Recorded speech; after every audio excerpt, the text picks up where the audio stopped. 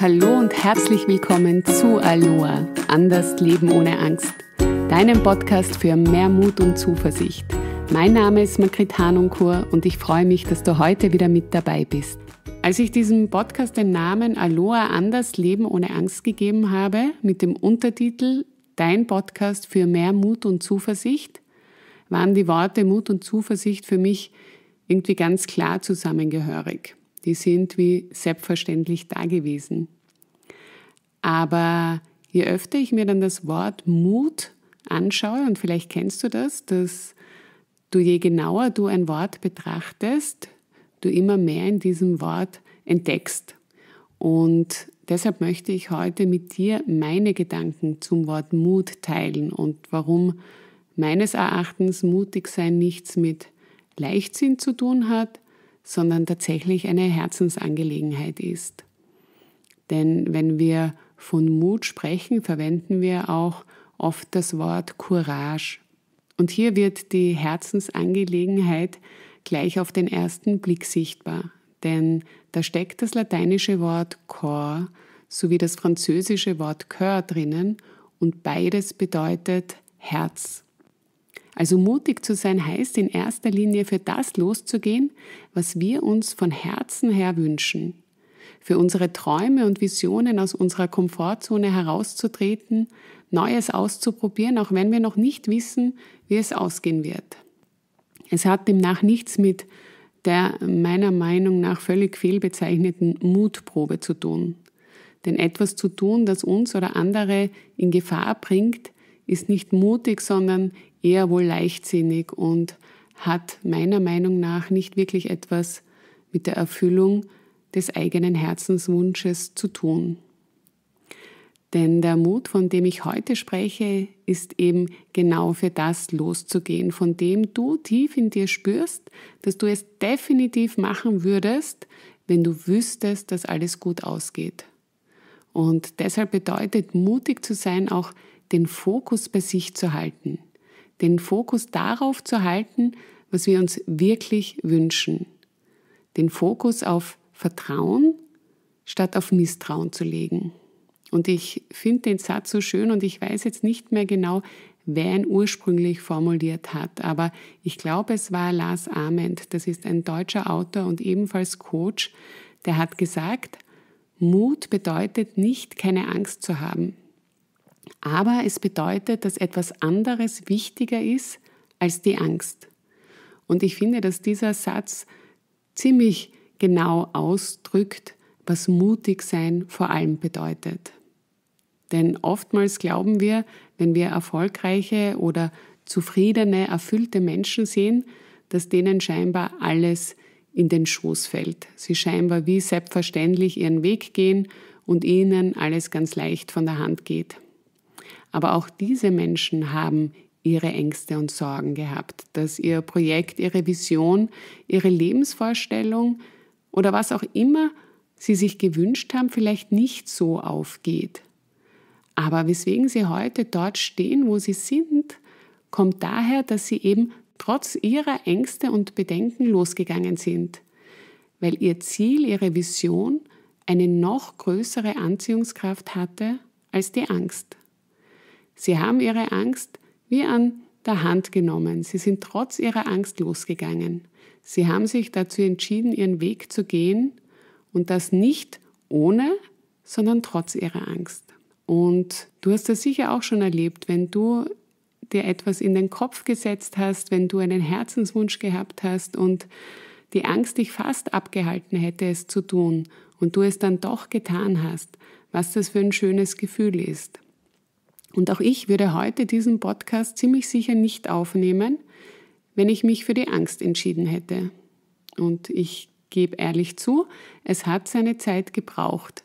Denn den Wunsch, diesen Podcast zu machen, den trage ich schon etwas länger mit mir herum. Irgendwann war mir dann aber klar, wenn ich meinen Wunsch wirklich leben möchte, nämlich auch andere Menschen dabei zu begleiten, für ihre Wünsche loszugehen, andere dazu zu animieren, wieder ihr wahres Ich bin zu entdecken, ihr wahres Potenzial zu leben, dann muss ich jetzt diesen Schritt gehen, auch wenn er mir vielleicht Angst macht, auch wenn mir der Schritt in die Sichtbarkeit Angst macht.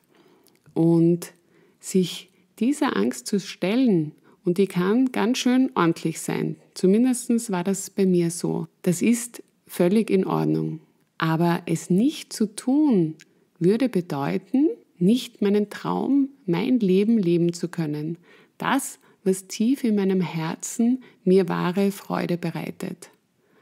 Und deshalb zahlt es sich aus, der Angst liebevoll zu begegnen, einmal genau hinzuhören, was sie uns denn überhaupt sagen möchte.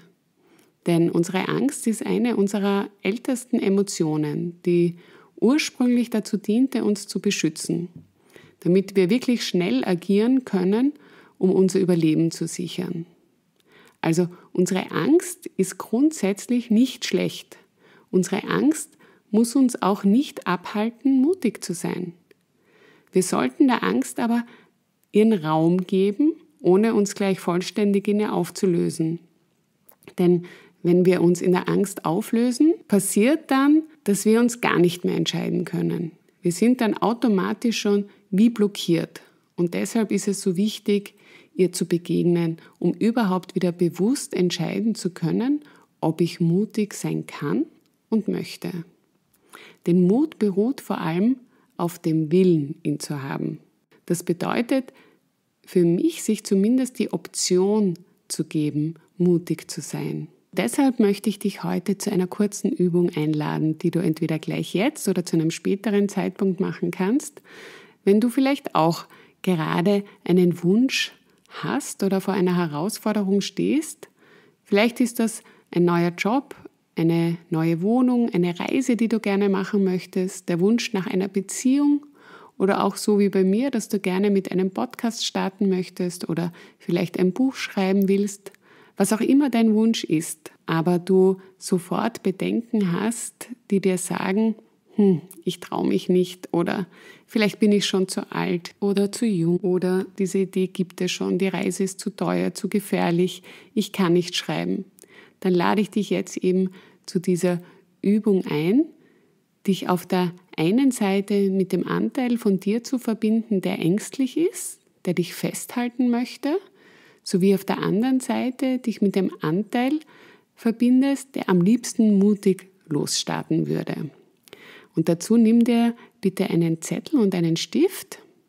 Wie schon öfters erwähnt, ist es einmal mehr kraftvoll, sich die eigenen Gedanken bzw. Antworten aufzuschreiben. Und dann frag zuerst einmal deine Angst, was denn ihre Absicht ist, wovor sie dich denn beschützen möchte.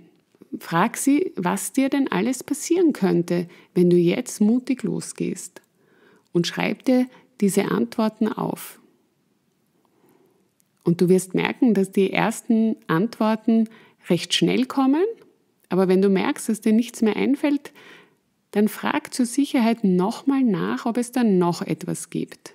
Lass nicht so schnell locker. Frag wirklich, was ist denn so das Schlimmste, was mir passieren könnte, wenn ich jetzt losgehe? Und wenn du das aufgeschrieben hast, dann wende dich im zweiten Schritt dem Anteil zu, der voller Zuversicht und Vorfreude ist. Und frag auch diesen Anteil. Was wünschst du dir für mich? Was ist deine Absicht? Und frage ihn auch, was kann ich gewinnen, wenn ich diesen Schritt mutig gehe? Und schreibe auch diese Antworten auf. Und auch hier lass bitte nicht locker, sondern frag nochmal nach. Was bringt es mir noch? Gibt es da noch etwas, was ich habe, wenn ich jetzt diesen Schritt wage, wenn ich jetzt diesen Schritt mutig gehe? Ja, und du kannst dir für diese Übung Zeit nehmen. Das kann ein Prozess sein, in dem du immer wieder neue Argumente findest und die dann dazu schreibst. Und wenn es soweit ist, dann auch eine Entscheidung zu treffen, dann liest dir deine Antworten nochmal genau durch. Spür, spür ehrlich nach, bei welchen Antworten dein Herz weit wird und bei welchen es eng wird. Und spür nach, ob es eng wird, weil eben die Bedenken der Angst recht gut sind. Und da bitte ich dich dann aber auch zu bedenken, dass auch das, wofür du brennst, in der Umsetzung nicht immer nur Spaß macht, nicht immer nur freudvoll ist, dass die ersten Schritte hin zu deinem Traum durchaus auch herausfordernd sein können. Aber wenn du dran bleibst, wird das Gefühl, die Freude darüber, dass du drangeblieben bist, umso größer sein. Das ist so ähnlich wie wenn du auf einen Berg steigst und dir beim Aufstieg denkst, wäre ich doch nur unten geblieben. Dann hätte ich es jetzt ganz gemütlich und vielleicht keine Blasen auf den Füßen oder Muskelkater in meinen Oberschenkeln. Doch wenn du dann am Gipfel oder auf der ersten Anhöhe stehst, weißt du, wofür du es gemacht hast. Du weißt, weswegen du losgegangen bist und dass es sich lohnt, für die eigenen Träume loszugehen. Und so ist das eben auch in unserem Leben. Es ist eben nicht nur ein flacher, gerader Weg. Manchmal sehen wir die Abzweigungen nicht. Manchmal geht es steil bergauf, manchmal zu stark bergab. Und deshalb dürfen wir auch Pausen einlegen, wir dürfen uns erholen. Aber wenn wir stehen bleiben, werden wir immer nur diesen einen Blick haben. Also geh in deinem Tempo weiter. Nimm manchmal die Anstrengung, die dein mutiges Vorangehen erfordert, in Kauf, um deinen Herzenswunsch auch zu leben. Denn mutig weiterzugehen bedeutet, trotz deiner Angst neugierig darauf zu sein, sich zu entwickeln und zu wachsen. Ja, und jetzt wünsche ich dir von Herzen Mut und Zuversicht für deine Vision, für dein Vorhaben oder auch deine Herausforderungen. Hab Vertrauen, dass wenn du daran glaubst, dass auch deine Angst nicht gegen dich, sondern für dich ist, dass du sie getrost an der Hand nehmen kannst und auf der anderen Seite dich dein Mut begleitet und du dich von ihm führen lassen kannst. Wenn du weitere Inspirationen möchtest, freue ich mich, wenn du mir auf meinen Social Media Kanälen folgst. Du findest mich unter Magritte Hanonkur Coaching auf Facebook und Instagram oder auf YouTube und natürlich auch auf meiner Website www.hanonkur-coaching.com.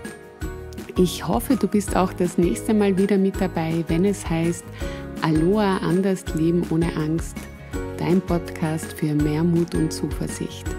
Alles Liebe, bleib mutig, deine Margrit.